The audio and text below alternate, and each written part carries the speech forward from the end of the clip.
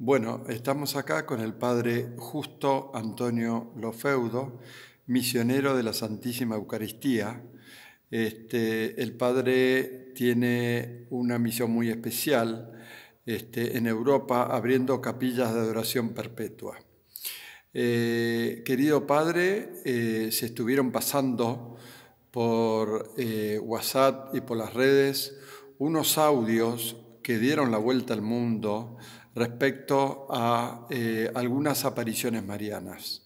Entonces, sabemos, porque usted mismo lo dice en alguno de los audios, que se basan en un libro que usted escribió al respecto. Entonces, queríamos hablar, que nos cuente un poco cómo surgió la idea de ese libro este, y de qué se trata, si es tan amable. Sí, por supuesto.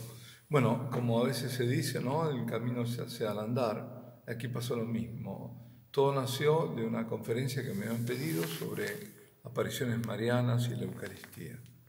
Y entonces, eh, así, eh, bueno, se inició, yo empecé a armarlo, eh, no podía dedicarme a todas las apariciones, obviamente, elegí algunas, y viendo eh, estas apariciones resultó evidente algo que sí, yo ya se conocía, ¿no? pero cómo se ha ido desarrollando la historia de salvación y que empieza con lo que se llama teológicamente la procesión trinitaria, es decir, el Padre envía al Hijo, el Hijo, por el Hijo viene también, es enviado el Espíritu Santo, pero esa procesión trinitaria sigue, es decir, a, su vez el Espíritu Santo hace de los hombres apóstoles que son enviados, pero hay también una, una procesión, alguien, es decir, que procede de esta Trinidad del cielo, la Virgen María Santísima. Ella es la, la que viene para estos tiempos y en esta historia de salvación, en paralelo, hay, existe desde el comienzo el misterio de la iniquidad que se va presentando en una forma cada vez más, yo diría, dramática, sino trágica, y es lo que estamos viendo en estos tiempos. Estos tiempos son tiempos finales y por eso eh, vino la idea de, este libro de María, la Eucaristía y el final de los tiempos, el aspecto que se llama escatológico eh, de los últimos tiempos, donde la Virgen viene a plantear, a plantar, mejor dicho, su batalla final contra el demonio, contra el dragón, lo que está bien explícito en el, en el, en, el libro del Apocalipsis, la revelación.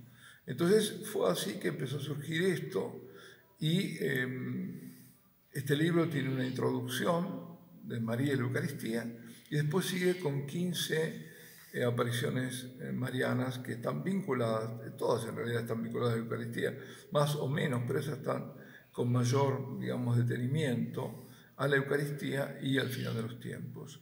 Y comienza con eh, Guadalupe, sigue con el Pilar, eh, a propósito del milagro de Calanda, y luego con Lo, y bueno, van siguiendo en forma cronológica hasta nuestros tiempos, e incluso eh, son todas apariciones aprobadas excepto dos, que son Garabandal y Medjugorje pero está, por ejemplo, Civitavecchia, Trefontane, que no es conocida, pero que es muy importante, que es dentro de la misma Roma, Civitavecchia también a las puertas de Roma. Eh, y en definitiva es así, y bueno, y al final con una conclusión, de esto se trata el libro. Padre, em, muchos nos han preguntado, por ejemplo, de Garabandal y Meyugore, ¿no? porque a esas dos apariciones usted especialmente, también creo que Villavecchia también le ha dedicado eh, como un poco más de tiempo, ¿no? Sí. Eh, ¿Es por algo en especial? Bueno, lo, que más dediqué tiempo fue a Fátima, también a Ámsterdam, a eh, Garabandal y a, a que quizás menos, pero Garabandal y Fátima sí, porque hay un corazón eucarístico muy profundo que hay que indagar mucho. Fijémonos que los dos mensajes de Garabandal tienen que ver con la Eucaristía directamente. Es el centro casi, yo diría, del mensaje. Eh, también Aquita tiene que ver, pero que está, además están todas vinculadas una interrelación muy interesante entre Aquita, entre Garabandal, entre Ámsterdam, están todas realmente eh, vinculadas. Y uno empieza a descubrir esa red que ha ido tejiendo la Virgen a través de todos los siglos y esta intensificación que ocurre a partir de la aparición de, de la medalla milagrosa, los Back, donde también a partir de ahí vemos muchas, una secuencia muy grande de apariciones que nos están mostrando eh, la proximidad de estos tiempos, que son tiempos de un gran desenlace, ¿no? de esta batalla final, como decía antes. Eh, estamos en, el corazón, como eh, en algún momento lo dijo el, el Santo Padre, Papa Juan Pablo II, estamos viviendo el corazón de las profecías.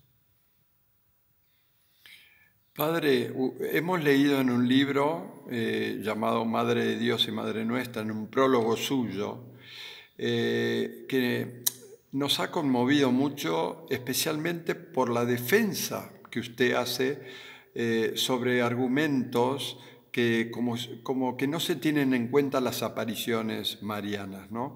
y incluso, bueno, las que no están aprobadas, por supuesto, con discernimiento, ¿no? Eh, ¿Nos podría, a ver si se acuerda un poco de ese prólogo? Porque claro, hay un argumento eh, que, se dice, bueno, no es necesario creer en las apariciones, ni tampoco tomar eh, la profecía privada para, este, eh, para poder, para la salvación, ¿no es cierto? Pero sin embargo usted ahí habla muy claramente de la importancia que tiene las apariciones y, bueno, y, la ventaja de creer en ellas también, ¿no? Bueno, la revelación pública está cerrada con eh, el último apóstol, ¿no? Y con la escritura, es decir, todo lo que se ha revelado ahí, después lo que el magisterio ha ido explicitando a través de los siglos porque en la escritura evidentemente no, no. A veces hay, yo diría, una tendencia dentro de los católicos protestantizante, porque si ¿dónde está esto en la escritura? Bueno, atención que no todo está en la escritura, eh, está en la tradición, está en, lo que ha ido develando el Espíritu Santo, por ejemplo, en la escritura no está la asunción de María, ¿no? Eh, pero, pero, pero, es así, o la virginidad este, perpetua de María no está tampoco pero están los primeros concilios, todo eso, todo el depósito de la fe que el magisterio tiene, eh, lo custodia, ¿no? tiene el deber de custodiarlo y de transmitirlo intacto, intacto, no puede cambiar nada. Pero eso no quiere decir que nosotros no podemos decirle que el, cielo deje de hablar. Lo que pasa es que la iglesia no tiene ese carisma de infalibilidad como lo tiene con todo el resto. ¿eh? Todo lo que es el depósito de la fe, hay infalibilidad, no se puede eso. Ahí no se puede cambiar nada, no puede decir, bueno, yo entiendo esto, esto esto otro. Pero en, lo que hace las revelaciones que se llaman privadas, que en realidad habría que llamarlas de otra forma, alguien lo, lo sugirió, bíblicas y extrabíblicas. Lo que está dentro de la Biblia y lo que está fuera de la Biblia. Entonces, en estas revelaciones fuera de la Biblia, eso, el, el, el, cielo habla. El cielo habla y, y, y hay motivos para creer de que realmente ha hablado, porque siempre está de, por medio el discernimiento, claro está, de la iglesia, ¿no? Si la iglesia llega a decir que este, condena una aparición es porque tiene sus motivos, y si la ha condenado, entonces no se puede seguirla, porque eh, está yendo contra la fe, contra la moral, contra ambas cosas, ¿no? Pero, eh, como decía, no tiene ese carisma de realidad, por lo tanto no obliga a la iglesia. Pero, en definitiva, si pensamos en una aparición como Fátima, tenemos la, obligación de seguirla. los papas la han, digamos, corroborado de alguna forma con su presencia y, por otro lado, además de la, beatificación y canonización de los niños, ¿no? los pastores, está el hecho que hubo signos fuertes, el cielo manifestó, le puso como el sello de autenticidad a través de los signos. Entonces, cuando eso ocurre, uno tiene que obedecer, la, obediencia a la fe, ¿no? Dios que habla. Y eso es lo que no se puede dejar, es, porque si no es un pretexto, bueno, yo, está bien, uno dijo, bueno, no. Eh, para mí, por ejemplo, el caso de, de, de tanto Caravandal como Medjugorje, la Iglesia ha dicho que no le consta la sobrenaturalidad. Es decir, ha dejado el tema abierto, no ha condenado, no ha aprobado. Pero está abierto. Pero ¿qué pasa? Por ejemplo, en Garabandal, vamos al caso de Garabandal. Además, atención, que en estos, tanto en uno como en otro, hay, hay profecías referentes al futuro que no han acontecido, y bueno, eso también lo, lo limita, ¿no? Para una aprobación. Pero eh, lo que más llamaba la atención en Garabandal, lo que más ponía en tela de juicio la autenticidad de Garabandal, era en su momento los mensajes, sobre todo el segundo, donde decía que muchos son los, eh, los cardenales, obispos y sacerdotes que van por el camino de la perdición, arrastrando con ellos muchas más almas. Pues esto, por esta paradoja de, la historia, diría, esto que era lo que más eh, ponía en tela de juicio en la autenticidad, ahora es lo que lo hace más auténtica. Yo diría, el sello de autenticidad está justamente en esa parte. ¿Por qué? Porque es lo que estamos viendo. Y no me refiero solo a los escándalos sexuales, ¿eh?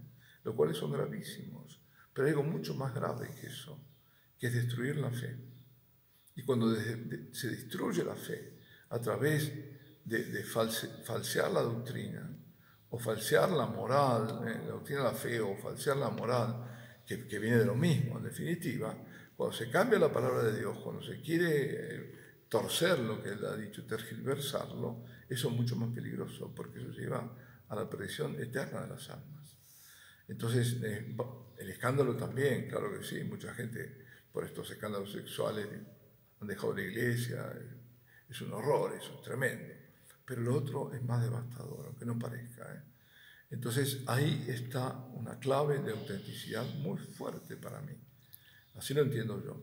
Y después además que pone como centro la Eucaristía.